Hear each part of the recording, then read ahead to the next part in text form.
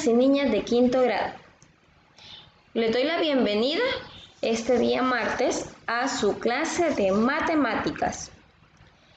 Vamos a trabajar en la unidad número 10 como ya habíamos iniciado hace unos días, que tiene como título Círculo y Circunferencia.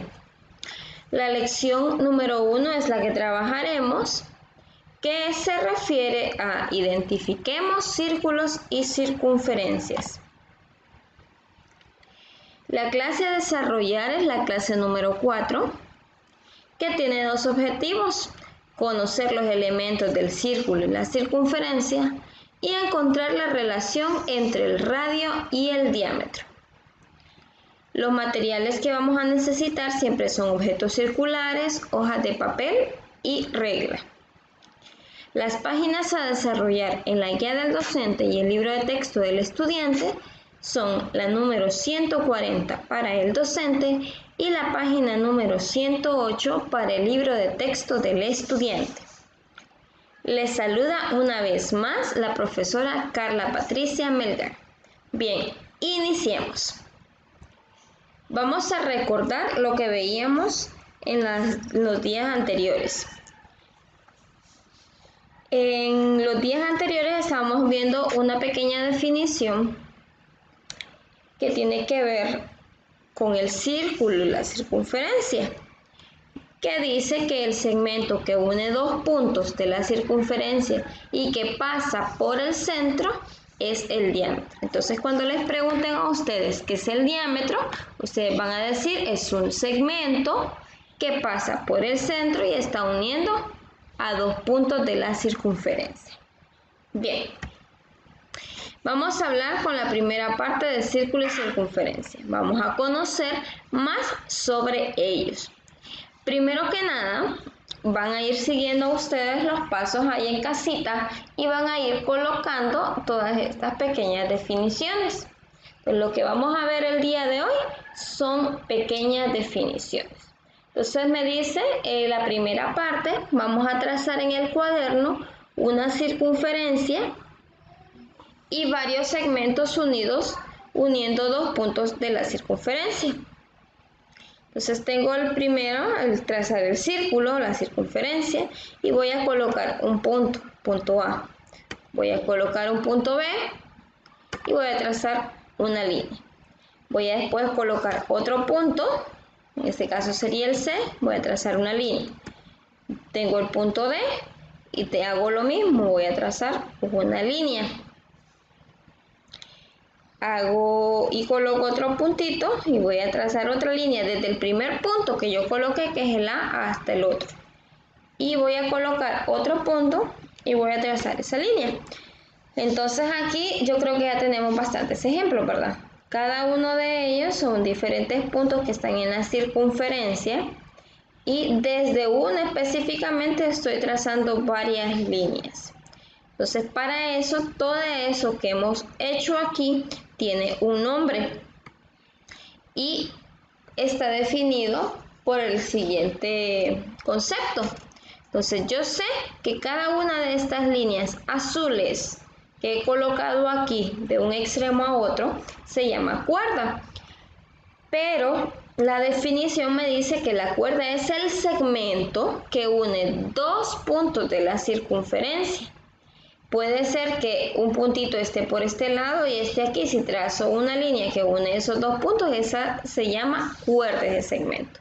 No importa qué tan grande o pequeño sea, siempre y cuando esté uniendo a dos puntos de la circunferencia, se va a llamar cuerda. Bien, ahora vamos con la parte número 2. Me dice que midamos la longitud de cada cuerda trazada entre y encuentre, perdón, cuál es la cuerda más larga. Ok, ya habíamos dicho que cada una de estas se llamaba cuerda. Ahora viene y ustedes van a poner una regla sobre cada una de estas cuerdas y van a empezar a medir. Decir, me van a decir, supongamos que esta mida 3, esta mida 4, esta mida 5, esta mida 4, esta mida 3. Si se fijan, lo estamos haciendo en centímetros porque las unidades que traen las reglas son los centímetros y es la medida que normalmente utilizamos para medir cosas pequeñas. Entonces, lo que van a hacer es colocar una regla y empezar a medir y van a decir cuál de ellas es la más larga. Y se van a dar cuenta que la más larga en este caso es el segmento AD. Y para ello también tenemos una definición. El diámetro es el mayor de las cuerdas.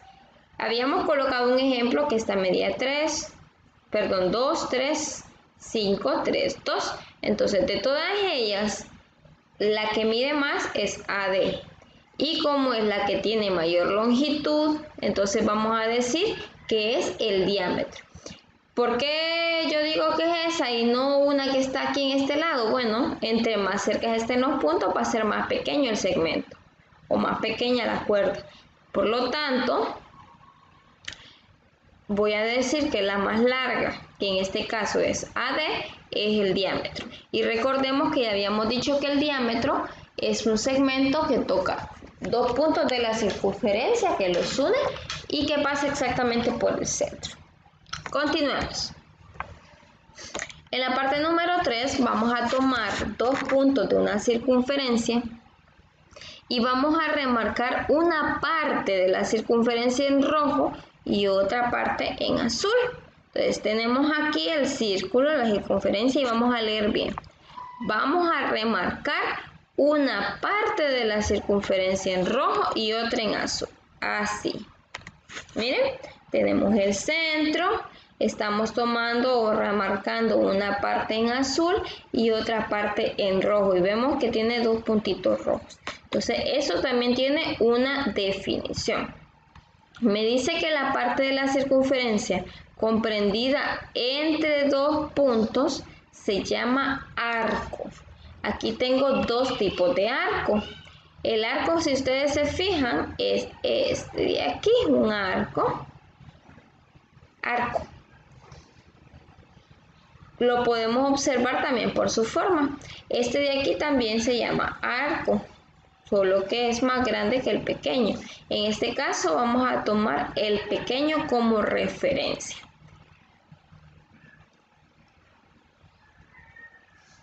Aquí también le podríamos colocar los, eh, los nombres de los puntos, el punto A y punto B. Entonces lo llamaríamos el arco AB.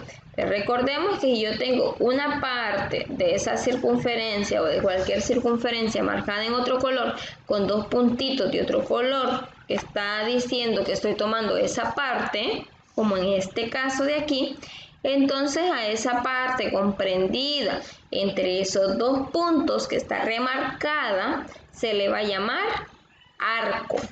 Recordemos esa definición. Y la parte número 4 me dice que vamos a trazar dos radios.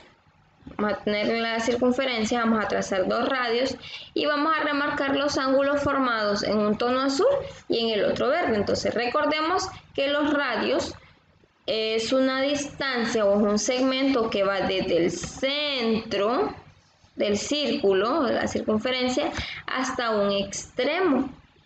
Y los radios tienen la misma medida.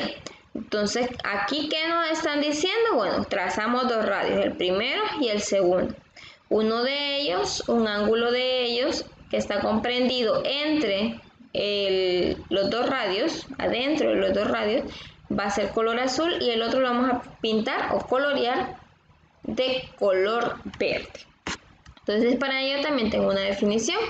Me dicen que el ángulo formado por dos radios, así como lo tenemos en la imagen, con el vértice en el centro se llama ángulo central. Esto se va a llamar ángulo central. Recordando que el ángulo central es un ángulo que está formado por dos radios. Recuerden, los dos radios tienen la misma medida con el vértice en el centro. Y vamos a hacer por último un pequeño ejercicio. vamos a decir cuál es el nombre correspondiente de cada número. Entonces me dan una circunferencia y me dan tres cosas. Me dan una línea en la primera, me dan dos líneas y un ángulo en la segunda y me dan una parte de la circunferencia. Les vamos a decir cómo se llama el número 1. Según las definiciones que tenemos, esta primera se llama cuerda. ¿Por qué? Porque está, estoy trazando dos puntos o estoy uniendo dos puntos con una línea. Número 2, este de aquí se llama ángulo central. ¿Por qué? Porque es un ángulo que está comprendido entre dos radios que están en el centro. Y la número 3 se llama arco porque está por la circunferencia. Es una parte de la circunferencia que está comprendida entre dos puntos. Entonces esto es todo muchachos por hoy. Espero que hayamos comprendido y que utilicemos todas esas definiciones que hemos visto el día de hoy. Muchas gracias, nos vemos hasta la próxima clase.